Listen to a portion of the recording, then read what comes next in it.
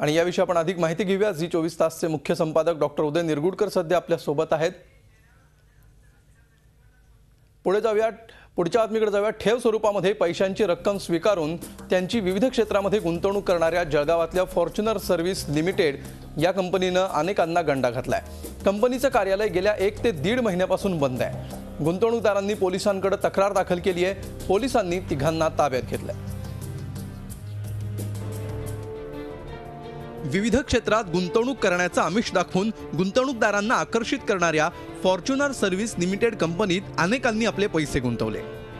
या कंपनीचं मुख्य कार्यालय कोलकातामध्ये आहे. तर जळगावात एक शाखा आहे. गेल्या दीड महिन्यांपासून जळगावातलं हे कार्यालय बंद आहे.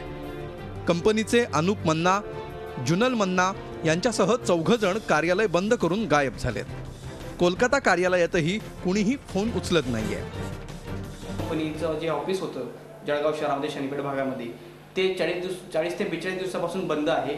आणि घरमालकाचे सुद्धा म्हणजे जे ऑफिसचे जे मालक आहेत त्यांचे सुद्धा दोन तीन महिन्याचे भाडे थकलेले आहेत. आणि असं सगळ्यांना गंडा देऊन सगळ्यांना फसवत या सगळ्या पैशांचा अपहार करीत ही लोक पळून गेल्याचा संशय आम्हाला आला. याबाबत कंपनीच्या अधिकाऱ्यांची बाजू जाणून घेण्यासाठी फलकावर लावलेल्या फोन नंबरशी संपर्क करण्याचा प्रयत्न आमच्या प्रतिनिधीनं केला. पण त्यांच्याकडून प्रतिसाद मिळाला नाही. अखेर याबाबत शनीपेठ पोलीस ठाण्यात तक्रार दाखल करण्यात आली आहे.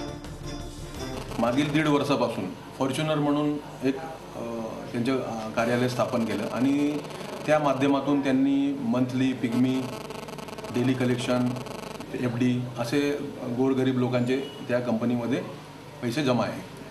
आणि त्यांची मॅच्युरिटी होऊन पण त्या लोकांना पैसे अदा केलेले नाही पोलिसांनी या प्रकरणी तिघांना चौकशीसाठी ताब्यात घेतलंय. यामागं मोठी साखळी असण्याची शक्यता वर्तवली जाते आहे कंपनीत अनेक छोटे कामगार आणि मजूर यांनी ठेव ठेवली आहे. त्यांची फसवणूक झाल्याचं स्पष्ट झालंय. Vikas Bhadane Zee media Jalgaon. Zee चोवीस तास. रहा एक पाऊल पुढे.